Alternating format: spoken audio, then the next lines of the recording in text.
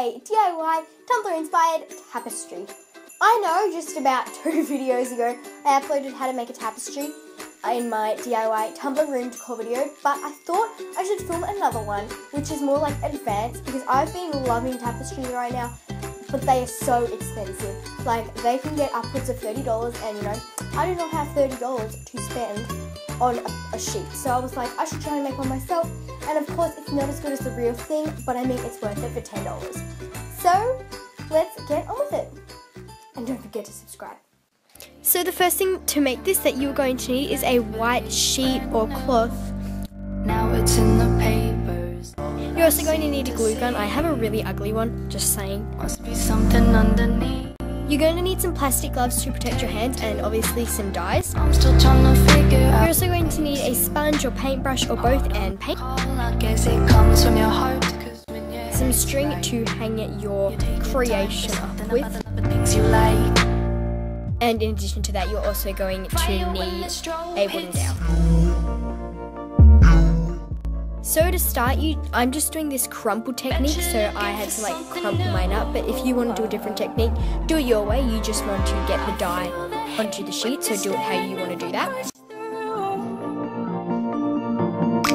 I dare you play your cards, boy. You bet I'm a trendsetter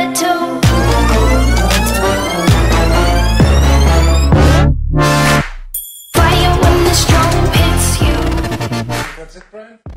After it's all dry, you want to hot glue gun the edges so the edges don't look all yucky. So I just hot glue gun them by folding them over pretty much, and that was all I did.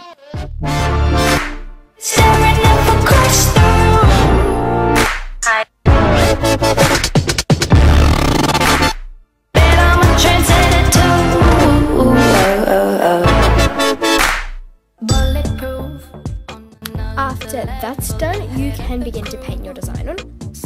I had this really, really weird white paint that became like see-through once it dried, so that's why like half of it is like see-through. But I kind of like how that looked because it was a bit more subtle.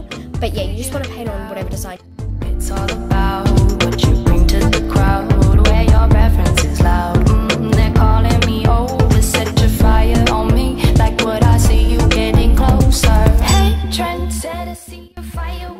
done and completely dried, you want to glue your wooden dowel on. And I just used a hot glue gun and then did some strips and then of glue and then just folded it over like I have done here. And then you can hang it on, up on your wall and you are done. I dare you play your boy. You bet I'm a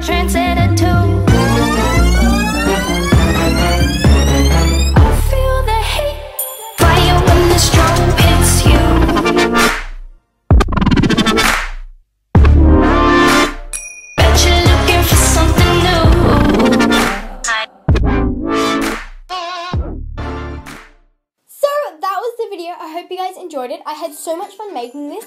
And if you are somebody that does not have much money, like myself, and wants to get a tapestry, then I would totally recommend making something like this one because it's really, really cheap to make and you know, it's, it still looks really cute. I'd just like to thank you all as well because lately I've been getting so, so many, like every day, nice comments from you all and they're really, really kind ones and I just want to say thank you so much because it makes it really hard to like not be motivated to make a video if I if I'm gonna get such nice comments like these ones. So I just want to give a huge thank you to you all. So thank you so much. Subscribe, like this video, and I will see you all later. Bye!